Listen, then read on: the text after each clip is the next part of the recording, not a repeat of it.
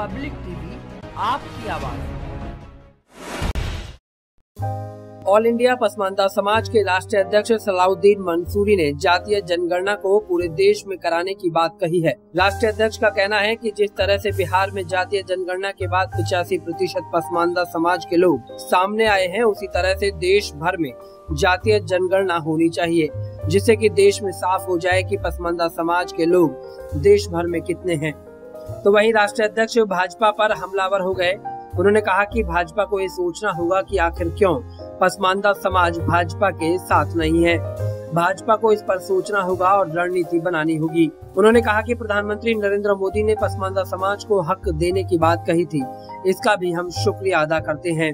उन्होंने पसमानदा समाज के लिए जीएसटी में छूट, राजनीतिक हिस्सेदारी 35 प्रतिशत आरक्षण और मुरादाबाद में निर्यातकों को फोकस में सात प्रतिशत मिलने की मांग की है।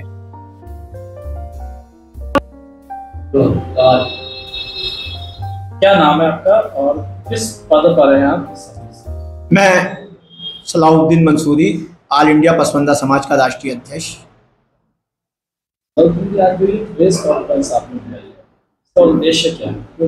इसका उद्देश्य यह है कि तीन जुलाई को माननीय प्रधानमंत्री जी ने हैदराबाद के अंदर पसमंदा समाज को हक देने की बात की थी।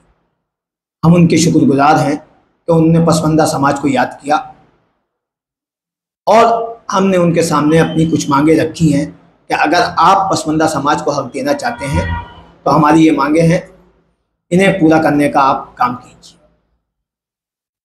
क्या क्या जैसे हमारी मांग है कि जो पसमंदा समाज के लोग पूरे हिंदुस्तान के अंदर बिज़नेस व्यापार कर रहे हैं तो उनको विशेषकर जीएसटी के अंदर छूट दी जाए, राजनीतिक हिस्सेदारी दी जाए, तैंतीस परसेंट आरक्षण दिया जाए, और मुरादाबाद के अंदर भी जो पीतल नगरी दस्तकार एसोसिएशन के नाम से एक्सपोर्ट वगैरह होता है यहाँ से, यहाँ पर ढाई लोग ढाई लाख पसमंदा समाज के लोग बेरोजगार हुए हैं।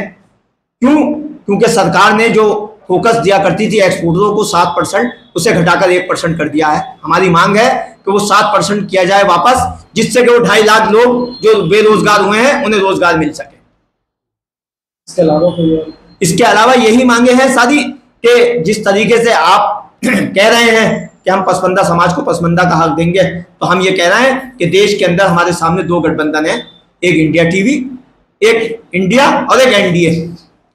ये दोनों गठबंधन से हमारी मांगे हैं कि पसमंदा समाज जैसे बिहार के अंदर अभी जनगणना हुई है उस जनगणना के अंदर आया है कि पिचासी परसेंट पसमंदा समाज के लोग हैं बिहार के अंदर। अगर पूरे देश की जनगणना कराई जाएगी तो सब सामने आ जाएगा कि पिचासी परसेंट देश के अंदर पसमंदा समाज के लोग हैं जो वोट देने का जो वोट देने का काम करते हैं।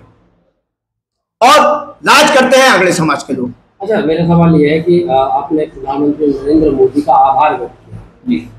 शफीकुर रहमान बर्क है संबल के सांसद हैं वो लगातार सवाल ये कर रहे हैं कि राम मंदिर के जो फैसले में कहीं ना कहीं जो भूमिका रही वो अच्छी नहीं रही उसके निर्णय में वो ठीक नहीं देखिए वो अदालत का फैसला था।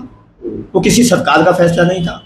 और किसी अलग के आदमी का फैसला नहीं था वो अदालत का फैसला था और अदालत के फैसले का हमने स्वागत किया? नहीं ये अदालत का फैसला था अदालत के फैसले का हमने स्वागत किया है। और उस वक्त जो फैसला आया था उसे मुसलमान ने अदालत का फैसला मानते हुए उसका स्वागत किया। पसमानदा समाज के राष्ट्रीय अध्यक्ष होने के नाते क्या लगता है कि मस्जिदों को छीनने का प्रयास किया जा रहा है? शफीकुर रहमान बर्क ने सरकार पर आरोप देखिए मस्जिदें जो मस्जिदें हैं अगर वो सही जगह पर बनी हुई हैं मस्जिदें तो उन्हें कोई नहीं छीन सकता। किसी के अंदर इतना वो नहीं है जो वो मस्जिदों को छीने। और जिस तरीके से जहाँ पर भी जिस तरीके की जांचें हो रही हैं जैसे बनारस के अंदर है अगर वहाँ पर उस ऐसा जिसकी जाँच हो रही है अगर उसके अंदर वो आता है तो किसी को भी कोई इतराज नहीं होगा। और अगर मस्जिद होगी तो मस्जिद रहेगी और मंदिर होगा तो मंदिर है। तो फिर आप इनसे वाकिफ रहमान भर के बयान आप सहमति जताते नहीं नहीं नहीं देखिए एक बात सुनिए जो अदालत जिस मामले के अंदर इन्वॉल्व हो जाए जो अदालत का निर्णय होगा क्योंकि अदालत सर्वोपरि है। न्यायालय सर्वोपरि है जो उसका निर्णय होगा वो मान्य होगा। सन 2024 में चुनाव आने वाला है और बीजेपी लगातार पसमानदा सम्मेलन है सम्मेलन रामपुर में भी हुआ आपको क्या लगता है कि मुस्लिम समाज को लेकर बीजेपी आगे बढ़ना चाह रही है मगर मुस्लिम समाज को उतनी बढ़ता मिल रही है या नहीं मिल रही बीजेपी को इस बात पर गहनता से विचार करना होगा कि हम सारी चीज़ें सारी योजनाओं में लाभ दे रहे हैं सब चीज़ें दे रहे हैं तो हमसे आखिर पसमंदा समाज या मुस्लिम समाज क्यों नहीं जुड़ रहा? क्या वजह है? उस पर गहनता से उन्हें विचार करना होगा और जो जहाँ कमियाँ हैं उन कमियों को दूर करना। है कहा? अभी अगर जुड़ना है देखिए बात सुनिए आप। जिस तरीके से वो बातें कर रहे हैं जो योजनाएँ उन्हें दी जा जो योजनाओं में वो लाभ दे रहे हैं पैंतीस परसेंट अगर उनके लोगों का कुछ कोई भी आदमी कहीं किसी ज़िले के अंदर किसी शहर के अंदर कोई भी बात किसी तरह की कर दे किसी के बारे में तो उससे एकदम मतलब ये उछल जाता उन्हें अपने लोगों को इस बात के लिए आगाह करना चाहिए कि किसी समाज के लिए कोई भी गलत शब्द का इस्तेमाल ना करे, किसी से गलत बात ना कहे, और सारे समाज, जब वो उनका नारा है, सबका साथ, सबका विकास तो वो सबका साथ, सबका विकास को लेकर चले और सबको साथ लेकर चले तो अच्छी बात है। पब्लिक आपकी आवाज़।